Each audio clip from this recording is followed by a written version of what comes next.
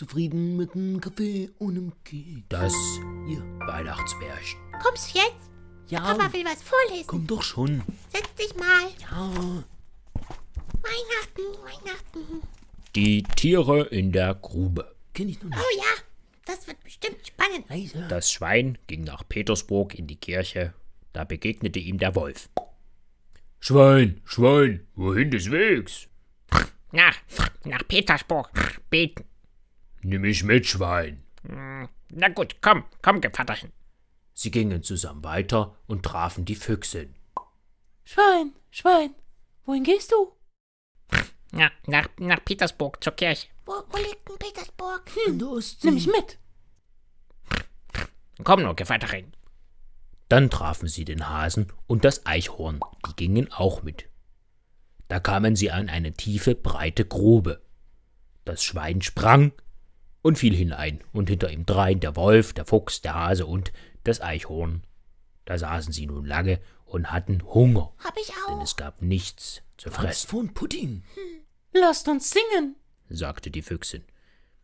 Wer die dünnste Stimme hat, den fressen wir. Ui. Oh, oh, oh, sang der Wolf mit tiefem Bass.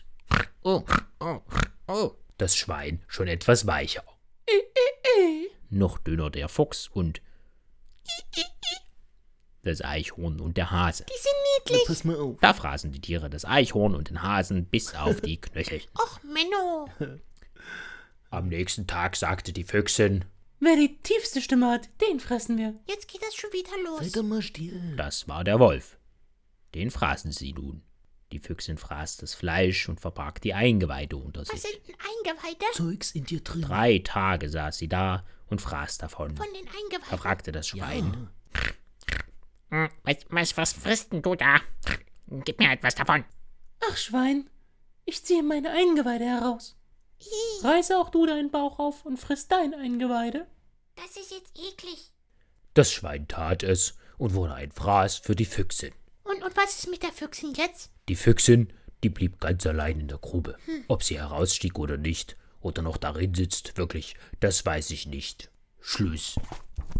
Komische Geschichte. Ja, das finde ich auch. Sind alle so? Na, viele von denen. Und wo kommen die her jetzt? Na, das ist so eine Sammlung aus russischen Volksmärchen. In dem Fall von Alexander Afanasjew. Ich lese da noch welche vor. Da freue ich mich drauf. Hm. Wollen wir jetzt was singen? Oh nee.